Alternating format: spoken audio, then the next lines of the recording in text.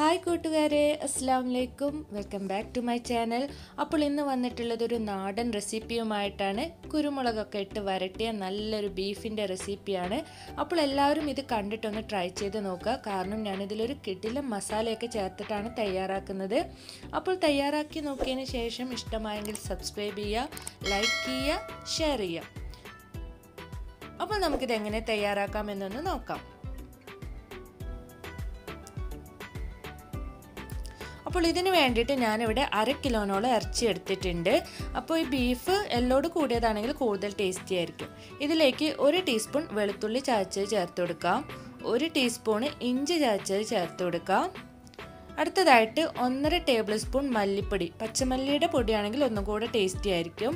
ഒരു ടീസ്പൂൺ മഞ്ഞൾപ്പൊടി ചേർത്ത് കൊടുക്കാം. അതുപോലെ ഒരു വലിയ സ്പൂണ് കുരുമുളക് ക്രഷ് ചെയ്തത് പൊടിയല്ല ക്രഷ് ചെയ്തതാണ് ചേർത്ത് കൊടുക്കേണ്ടത്. ഒരു അര ടീസ്പൂണ് ഗരം മസാല ആവശ്യത്തിന് ഉപ്പ് ഒരു വലിയ സ്പൂണ് വെളിച്ചെണ്ണ കൂടെ ചേർത്ത് കൈ ഉപയോഗിച്ച് നമുക്ക് നല്ലപോലെ ഒന്ന് മിക്സ് ചെയ്ത് കൊടുക്കാം. നമുക്കിത് മാരിനേറ്റ് ചെയ്ത് വെക്കണമെങ്കിൽ ഒരു അരമണിക്കൂർ വെക്കാം. ഇല്ലാന്നുണ്ടെങ്കിൽ അപ്പോൾ തന്നെ കുക്ക് ചെയ്യാം. ഇതിലേക്ക് ഏകദേശം ഒരു രണ്ട് ടേബിൾ സ്പൂണോളം വെള്ളം കൂടെ ചേർത്ത് കൊടുക്കാം. എന്നിട്ട് അടച്ച് വെച്ചിട്ട് മൂന്ന് വിസിൽ വരുന്നത് വരെ മീഡിയം ഫ്ലെയിമിലും കുറഞ്ഞ വിസിലിൽ പതിനഞ്ച് മിനിറ്റും കൂടി ഒന്ന് കുക്ക് ചെയ്തെടുക്കാം. അപ്പോൾ അത് വേവുന്ന സമയം കൊണ്ട് ഇതിലേക്കുള്ള മസാല നമുക്ക് തയ്യാറാക്കാം. ഇതിന് വേണ്ടിയിട്ട് നമുക്ക് ഒരു ടേബിൾ സ്പൂണ് വലിയ ജീരകം ഒരു ടീസ്പൂണ് ചെറിയ ജീരകം അതുപോലെ ഒരു ടീസ്പൂൺ തന്നെ കുരുമുളക് കൂടെ ചേർത്ത് നന്നായിട്ടൊന്ന് റോസ്റ്റ് ചെയ്തെടുക്കണം. മീഡിയം ഫ്ലെയിമിലിട്ടിട്ട് തന്നെ റോസ്റ്റ് ചെയ്യുക പക്ഷെ കരിഞ്ഞു പോവാതെ പ്രത്യേകം ശ്രദ്ധിക്കുക. അതിനുശേഷം തണുത്തതിന് ശേഷം നമുക്ക് ഇതിനൊന്ന് പൊടിച്ചെടുക്കണം. ഇറച്ചി വെന്തതിന് ശേഷം നമുക്കിതിനെ ഒന്ന് ഡ്രൈ ആക്കി എടുക്കണം. അപ്പോൾ അതിനായിട്ട് നമുക്ക് വെളിച്ചെണ്ണ ഒഴിച്ചു കൊടുക്കാം. ഇനിയിപ്പോൾ വെളിച്ചെണ്ണ ഇല്ലെങ്കിൽ ഓയിലാണെങ്കിലും നല്ല ടേസ്റ്റ് തന്നെ കേട്ടോ. ഇതിലേക്ക് ബ്ലാക്ക് കാർഡമം ഒന്നിട്ട് കൊടുക്കാം. അതുപോലെ തന്നെ ഒരു ചെറിയ കഷ്ണം പട്ട ഒരു ഗ്രാമ്പു അതുപോലെ ഒന്നോ രണ്ടോ ഗ്രാമ്പു ചേർക്കാം. ഒരു ഏലക്ക കൂടെ ചേർക്കുക.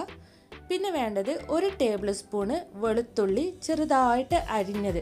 ക്രഷ് ചെയ്തതോ പേസ്റ്റോ ഒന്നുമല്ല അരിഞ്ഞത്. അതുപോലെ തന്നെ ഇഞ്ചിയും ചെറുതായിട്ട് അരിഞ്ഞത് നമുക്ക് ചേർത്ത് കൊടുക്കാം. എന്നിട്ട് ഇതിന്റെ പച്ചമണം മാറുന്നത് വരെ ഒന്ന് മൂപ്പിച്ചെടുക്കാം.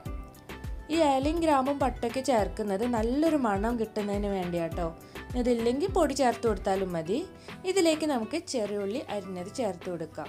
ചെറിയുള്ളി എത്ര ചേർക്കുന്നോ അത്രയും ടേസ്റ്റി ആയിരിക്കും. പക്ഷെ എന്റെ അടുത്ത് അധികം ഇല്ലാത്തതുകൊണ്ട് ഞാൻ ഇവിടെ കുറച്ച് ചേർത്തിട്ടുള്ളൂ.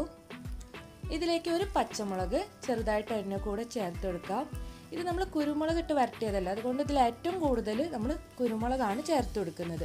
ഒരല്പം കറിവേപ്പില കൂടെ ചേർത്ത് കൊടുക്കാം. കറിവേപ്പില നമ്മൾ പിന്നീട് കുറച്ചുകൂടി ചേർത്ത് കൊടുക്കുന്നുണ്ട്. ഇത് നല്ല മൊരിയുന്നത് വരെ തന്നെ ഇതിനൊന്ന് വഴറ്റി കൊടുക്കുക.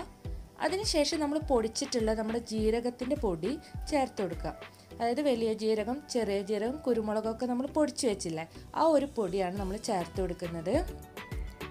ഇതിലേക്ക് ഒരു കാൽ ടീസ്പൂണ് കാശ്മീരി ചില്ലി ചേർക്കുന്നുണ്ട്. അതൊരു നല്ല കളറിന് വേണ്ട കേട്ടോ. അത് ഓപ്ഷണലാണ് സാധാരണ മുളക് പൊടി ഇതിൽ നമ്മൾ ചേർത്ത് കൊടുക്കാറില്ല.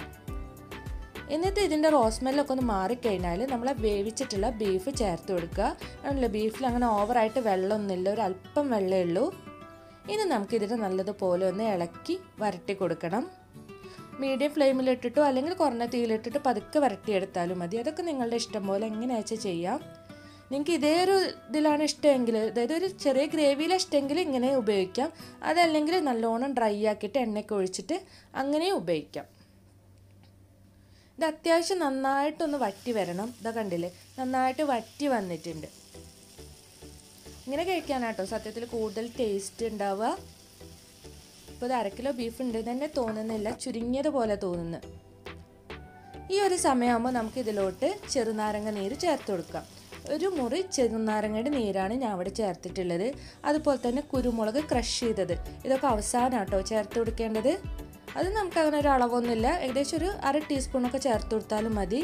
നേരത്തെ പറഞ്ഞ പോലെ പൊടി ചേർക്കുന്നതല്ല കുരുമുളക് ക്രഷ് ചെയ്ത് ചേർക്കുന്നതാണ് കൂടുതൽ ടേസ്റ്റി ആയിട്ട് ഉണ്ടാവുക അതിനുശേഷം നമുക്ക് ഫ്ലെയിം ഓഫ് ചെയ്തിട്ട് സെർവ് ചെയ്യുന്ന ബൗളിലോട്ട് മാറ്റി കൊടുക്കാം.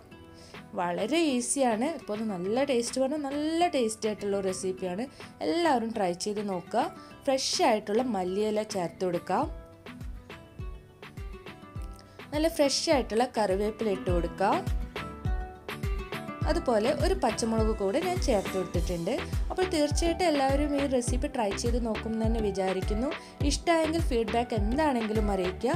ഇതുപോലെ കിടിലൻ റെസിപ്പീസുമായിട്ട് നമുക്ക് ഇനിയും കാണാം. My kitchen thanks for watching